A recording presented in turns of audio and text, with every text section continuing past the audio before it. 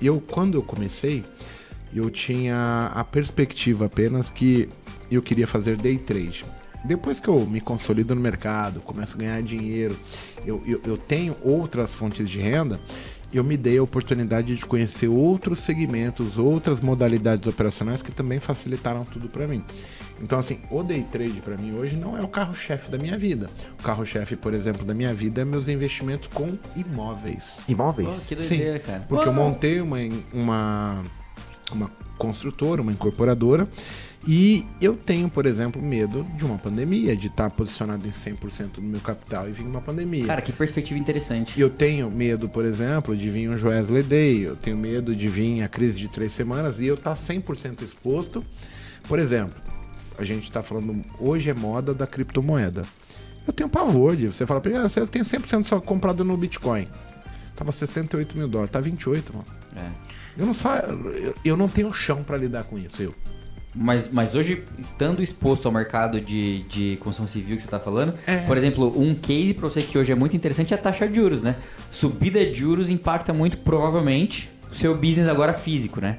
É, só que assim, eu sou o cara que constrói, então eu ainda tenho umas vantagens. Eu não pago o preço de venda, revenda, né, no Hum, final. entendi. Eu pago o preço de construtor. Então, assim, é, vou dar um exemplo. Pô, eu construo pagando, sei lá.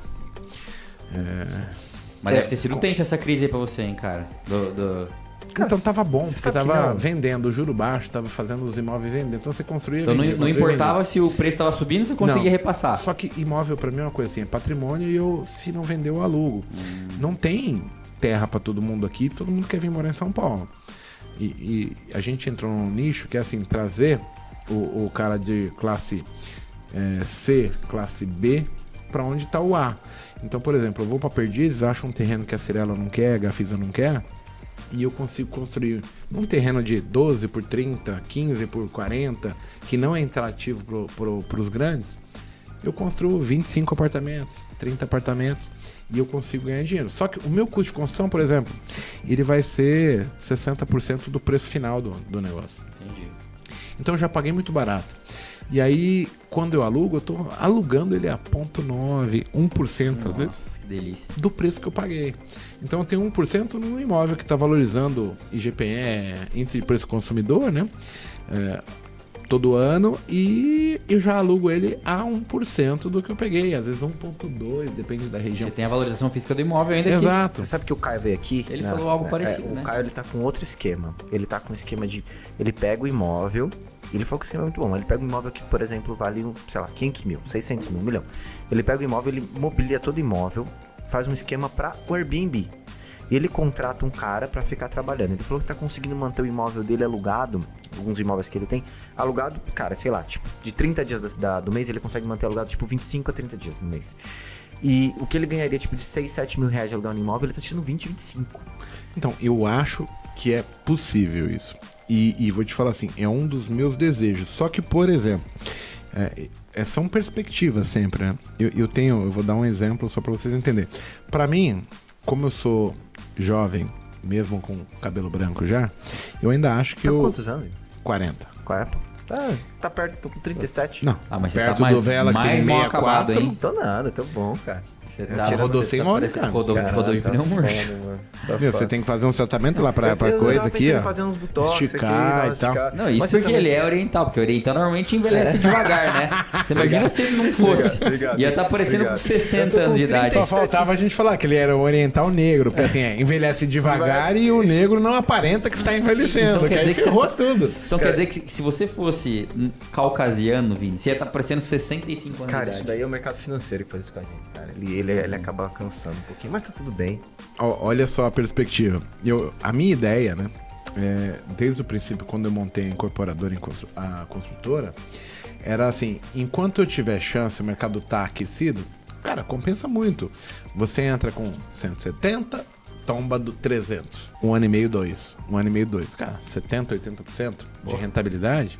É muita coisa e você tomba um, um certo, que eu vou chamar de dinheiro grande, é um, é um tombo de dinheiro. Então você, pum, dobra, dobra, dobra. Cara, se eu puder fazer isso pra sempre, eu faço. E na pior das hipóteses era eu alugar o imóvel caso o mercado desaquecesse. Porém, eu tô vivenciando três anos, quatro anos muito bem aquecido de mercado imobiliário. E tudo que construiu vendeu. Pô, juros baixos foi ótimo então pra esse Sim, né? agora tá começando a complicar. Por quê? Porque é o cara que vai tomar o crédito, ele é o cara que é o assalariado. A gente ainda vivencia uma crise de que deve estar apertando aí algumas classes de emprego, né? Algumas pro- profissões. E tem pessoas que, tipo, já não estão mais empregadas, já estão fazendo conta, porque subiu tudo, né? A gente tá com a inflação batendo no teto. E aí o cara tomar a decisão de fazer um- um- uma compra baseada em financiamento, ele começa a ficar receoso. Porém, todo mundo vai ter que morar, senão vai morar debaixo da ponte, né? Então, assim, qual que é o esforço que a gente faz aqui? Eu preciso pagar meu aluguel e fazer as compras de casa. O, o supérfluo eu corto. Então, eu ainda acho que imóvel é muito vantajoso pela segurança. Eu não tenho riscos muito grandes. Por exemplo, do Joesley Day, que pra mim é uma coisa muito ruim. A gente vivenciou aí cerca de oito meses de queda no mercado financeiro agora e a gente deu uma estabilizada.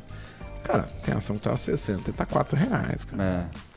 O que você tá falando é que você não tem risco de ruína no seu business atual, né? É, Ou muito tem- você pouco tem na realidade. Sim, o risco existe. Existe risco de crédito, existe, pode aparecer uma crise que a gente não conhece, uma pandemia muito mais severa. Eu sei que você tem. No, no- no imóvel você também tem um risco. Tem um risco. É, assim, claro que você tem um risco que você tá controlando. Mas tem o risco de você começar uma obra, a prefeitura embargar. Você tem risco. Então, assim, mas eu acho que são riscos. Assim como você tem um risco na bolsa. Acho que tudo é risco, mas a questão do imóvel, hoje, eu tô percebendo que tem muita gente migrando.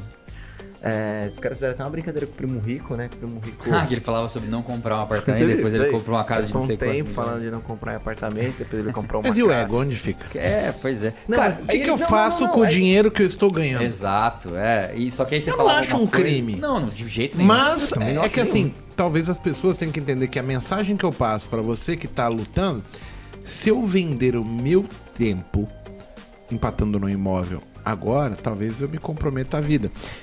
O, o, o primo, eu acho que ele tá muito à frente já tá muito. já. Não, é, primo esquece. E- eu, eu falo isso, assim, tem, um- tem uma coisa que talvez seja até importante a gente falar.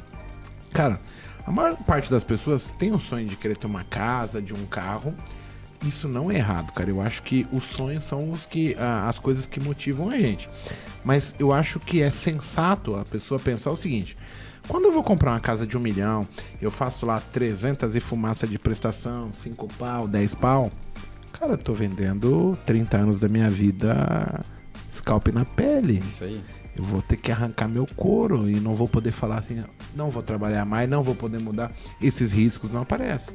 Então, assim, o tempo ele é muito importante.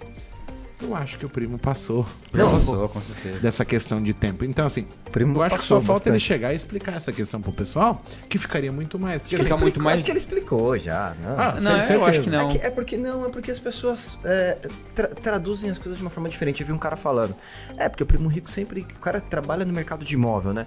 Eu vi o primo rico criticando, criticando o mercado de imóvel e ele comprou uma casa. Mas foi o que ele falou. Hoje, o valor de patrimônio que o, rico, o primo rico tem, ele comprar uma casa, não representa Não é nada. nada. do É, patrimônio. e ele não tá empreendendo mais o, o- o tempo dele, tá, Ele já tá- investindo em patrimônio. E Ele o dinheiro tem- que já está trabalhando pra ele.